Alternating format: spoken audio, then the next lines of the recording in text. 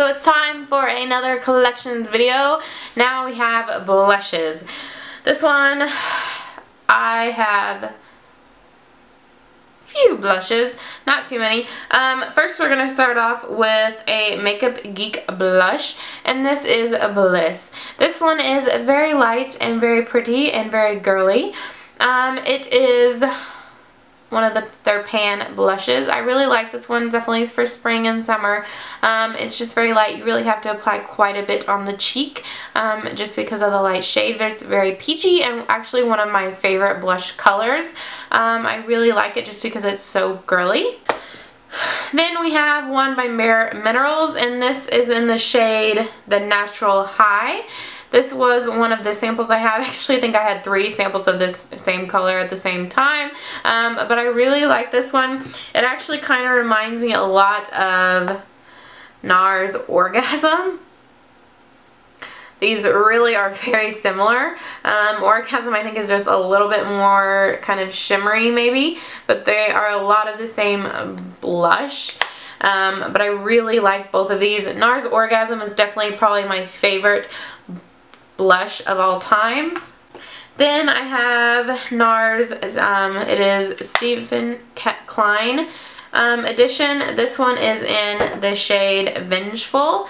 And I have this blush here, which is very red um, and very deep. And then I have a highlight here, which is very kind of just a gold color. I think this might have been a Christmas edition because I got it on sale afterwards, but I'm not 100% sure. But I really like both of these shades. I really like this highlight. Um, it's very gold and very pretty, very shimmery. Then I have another e.l.f. blush. Um, it's kind of in the same package as the NARS except it has that little part there where you can see through. And this is in the shade Mellow Mauve. Um, I really like the shade of blush because it's just kind of, it's a little bit more brown um, undertone to it. Yeah, I'm not very good at describing colors, so apologize if I'm wrong, um, but it's a little bit more subtle on the cheeks. Um, another one kind of like Orga orgasm, but it's not shimmery, and it's just a lot more subtle than that one is to me, I think. Then I have this one here by City Color, and it is in the shade Guava. It's another one that I really like. It's the one I'm wearing now, actually. It's a lot more subtle, too. Um, it's very pink, but a lot kind of more um, subtle as well. It's not a very bright pink. Um, kind of more reserved, I guess you could say. Then I have this one by Hikari and it is very bright pink and it is in the shade Tango. And this one is very pigmented and you have to be very careful when applying it. Then I have this one by Tarte and it's another one of my favorites that I have and it is in the shade Timeless. And this is their Amazonian Clay 12 Hour Brush Blush I really like um, this shade and this collection. It definitely does last a long time, um, probably longer than any of the other blushes. Usually with a blush you have to apply a little bit heavier if you want it to last longer. And this blush I would definitely say, I don't think it lasts 12 hours to say, but it definitely lasts longer than some of the other blushes. That's usually the first thing to go. Then I have this blush. I received this in an Ipsy bag and it's by Model Co.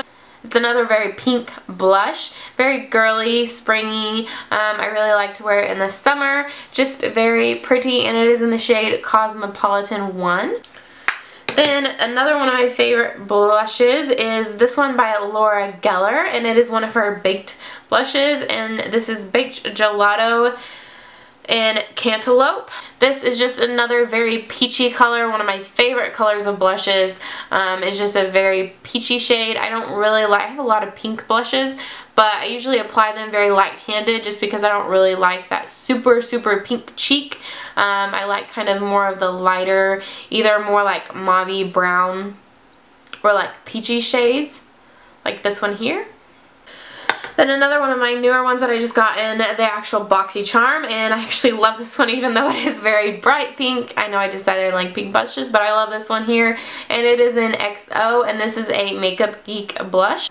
I think my blush habits are actually changing more pink as I go along. Probably because I have more pink than anything so I like it. Then another one that I have, and I like the color of this one, but I hate the texture, the type of this blush. And it is Coffee Cake, and it is by Maybelline, and it is the Bouncy, Dream Bouncy Blush. And I hate how well actually now it's more creamy. As it sat over time, this has become more creamy and now I think it would actually be easier to apply. But before, whenever I purchased this, it was almost hard and I couldn't apply it with anything. Maybe it was supposed to, maybe it was wrong whenever I bought it. I don't know. I haven't bought, I haven't used it in a while because like the first time I used it, I tried to apply it and it was so hard and I couldn't do anything with it. But now it's actually kind of creamy and I can actually do something with it. So I'll have to try this again. Then I also have this e.l.f. blush palette. This I think is another um, very inexpensive drugstore item.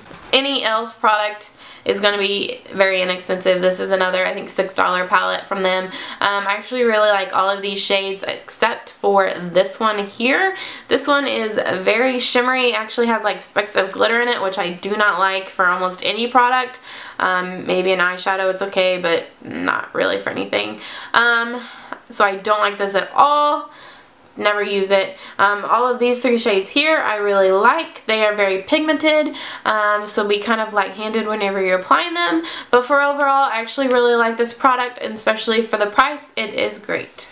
Hope you guys have enjoyed another one of these collections video. If you have, hit that like button, and also don't forget to subscribe, and I will see you in my next video. Bye-bye!